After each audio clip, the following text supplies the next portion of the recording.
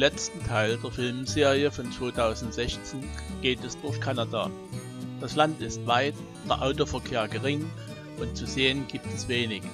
Rechts und links des Weges nur Wald mit wenig Durchblick. Und da das Land flach ist, gibt es kaum Hügel, von denen man über die Bäume hinwegsehen könnte. Momentan fahren wir Richtung Norden mit dem Ziel, auf den Trans-Canada Highway zu kommen.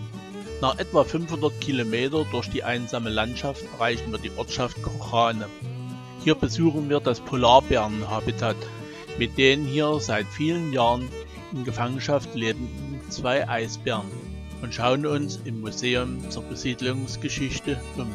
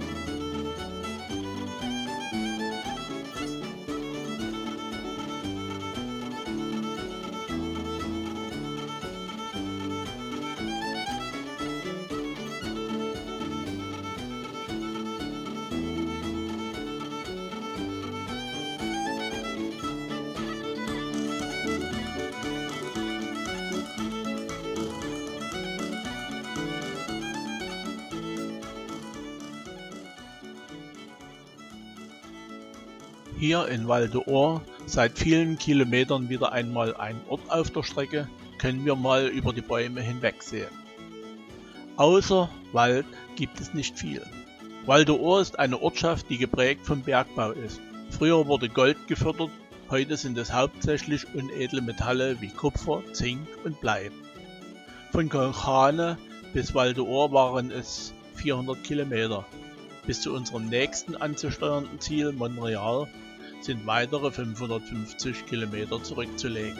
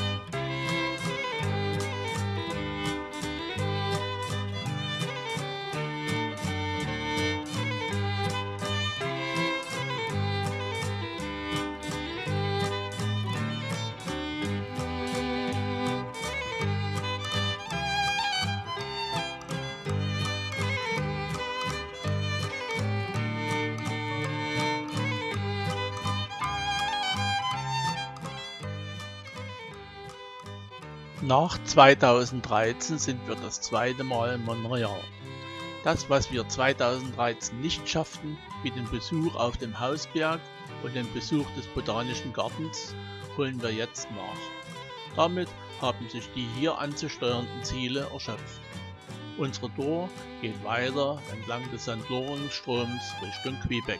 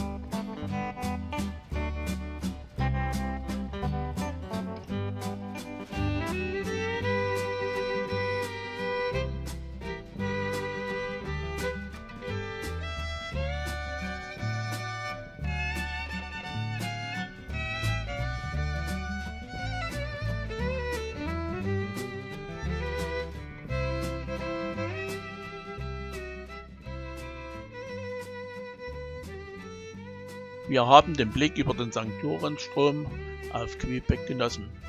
Der Trubel, einen Stellplatz nahe der Fähre über den Strom für unser Auto und Wohnwagen zu finden, war uns zu viel. Auch der Preis für einen Parkplatz war uns zu hoch.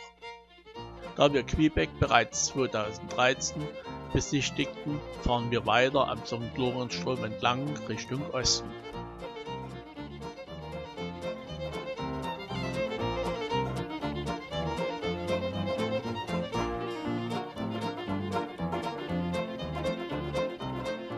Wir haben bereits den St. Lorenzstrom verlassen und sind weiter durch dichte Wälder bis in den Ort Grand Falls gefahren. Beim Blick von der Straßenbrücke auf den Wasserfall im Ort erleben wir heute nur ein Rinnsal von Wasser. 2013 sah das ganz anders aus. Anschließend wandern wir ein Stück am Fluss entlang.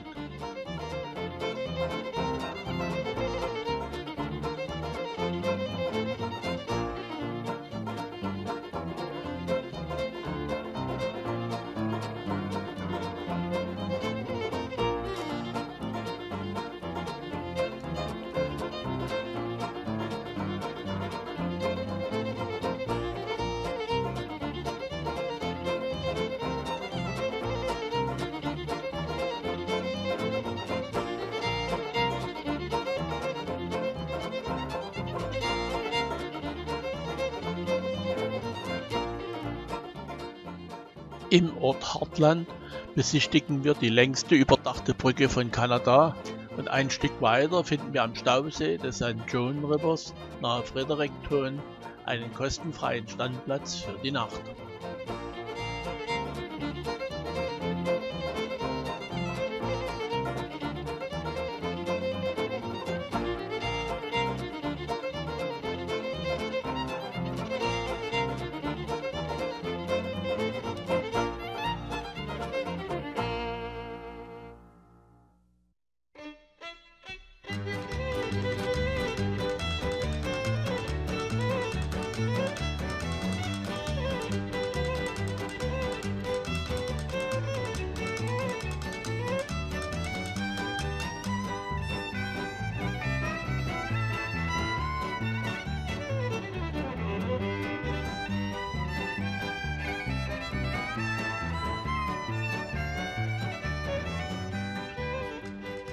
Einsam ist die Gegend hier, viel zu erleben gibt es nicht.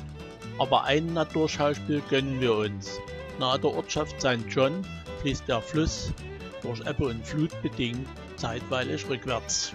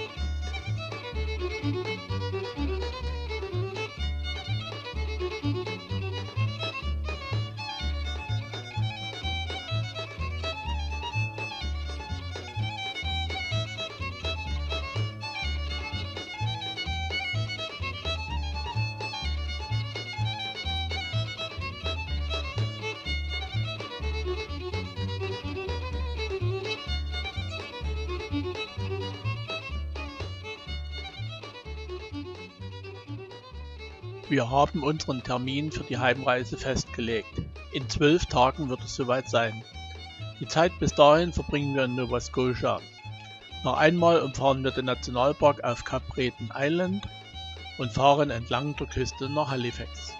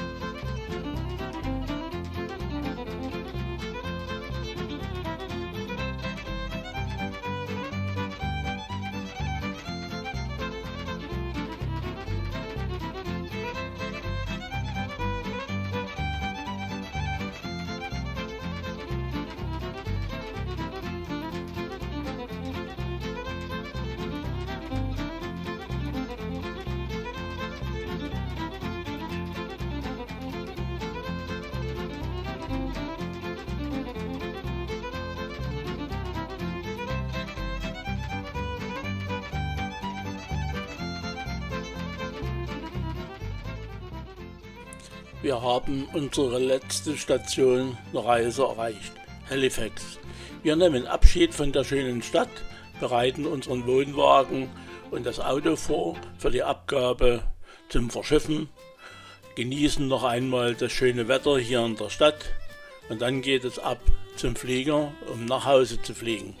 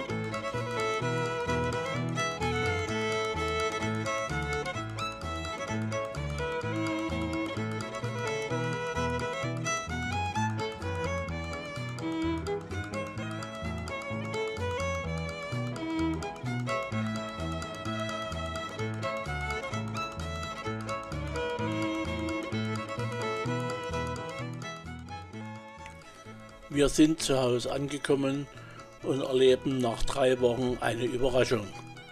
Unser Wohnwagen wurde nicht bis nach Hamburg verschifft, sondern in Antwerpen abgestellt und als wir ihn besichtigen, hat unser Wohnwagen einen Totalschaden. Die komplette rechte Seite ist von vorn bis hinten eingedrückt, die Tür herausgerissen, sodass wir nur noch unsere Sachen aus dem Wohnwagen retten können. Nur gut, dass wir eine Seetransportversicherung abgeschlossen hatten, so ist der Schaden noch einigermaßen in Grenzen zu halten. Und wie es nach der Reise weiterging, kann man auf meinem YouTube-Kanal f.schulz-dresden sehen.